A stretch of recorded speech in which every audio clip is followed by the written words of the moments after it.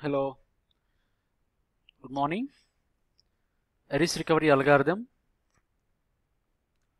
In this presentation, there is an agenda to discuss. Basically, we talk about this recovery algorithm first and how these three passes are going to be used in this algorithm and there are different features of ARIES algorithm. Look at this ARIES recovery involves in three important phases. One analysis phase, two redo redo pass. Sorry, there are three passes: analysis pass, redo pass, and undo pass. Of course, there are three different pages. So in each pass determines first it determines certain type of tasks we can perform here. But look at in the analysis pass determines which transactions to undo, which pages were dirty at time of crash, and redo LSN, LSN from which redo should start. So these three tasks normally performed to determine in this first phase of analysis pass. And redo pass, which repeats history, redoing all actions from redo log LSN and Record LSN and page LSNs are used to avoid redoing actions already reflected on page. The last pass is undo which rolls back all incomplete transactions. Transactions whose abort was completely earlier or not undone.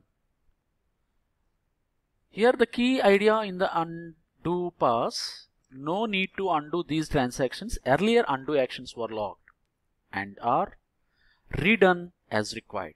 So this algorithm basically involves in three passes, analysis pass, redo pass and undo pass. Let us have these three passes like here the representation through diagram, diagram. Analysis, redo and undo passes. Analysis determines where redo should start. So here look at a log record in the log once this transaction reaches to the end of the log and it last checkpoint we have many different checkpoints are going to be analyzed last checkpoint reached. If in the end log if there are any kind of problem then we need normally enter into the redo pass here up to the last checkpoint. So we need to be undo all the transactions performed from the last checkpoint to the end log point. And redo pass, if any kind of problem has come into this transaction execution, then redo pass will take care of to start that uh, transaction from that place to another up to end of the log. So this diagrammatical representation showing that how these three passes are going to be performed. And now look at this. Analysis pass going to be extended a bit more scans forward from checkpoint. So each checkpoint is going to be looked at forwarded. If any log record found for transaction not in undo list, adds transaction to undo list. It indicates that particular transaction is not happening.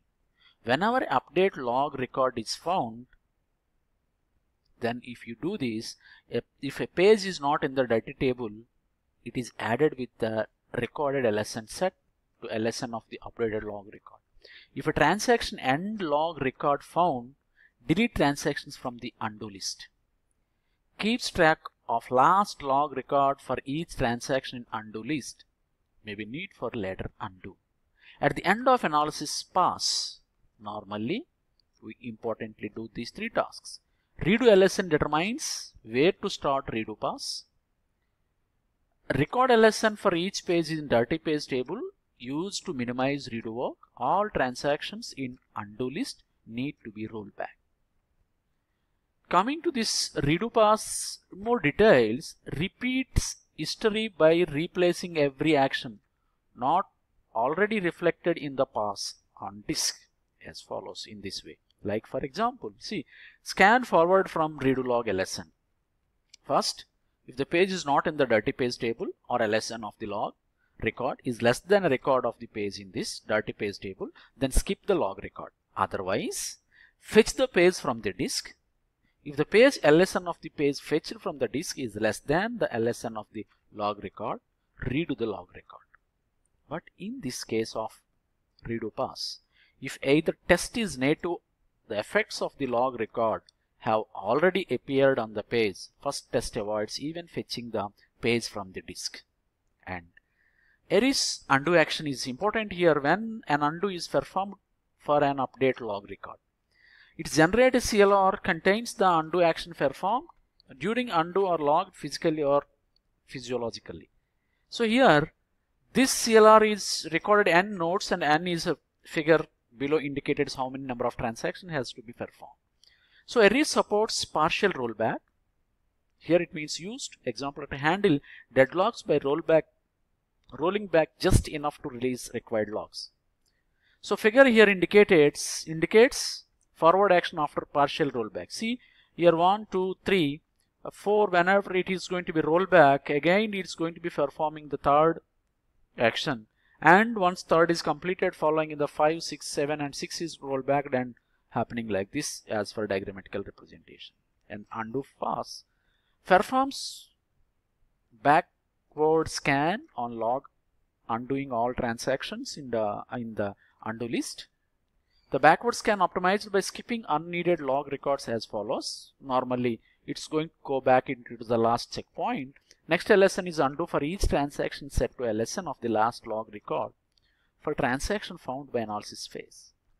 So these are normally steps used to follow in the undo pass and undo performs as uh, mentioned earlier in this other uh, features of this ARIES is recovery independently happening. Pages can be recovered independently of others.